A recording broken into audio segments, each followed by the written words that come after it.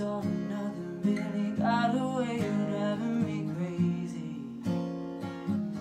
I need somebody to hear